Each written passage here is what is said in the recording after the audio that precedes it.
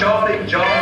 Hop, skip to Shorty George. Directions are short and sweet. I don't beat your feet until your feet is beat. Don't get to shorty George. And not to the shorty George. Girl, I'm telling you that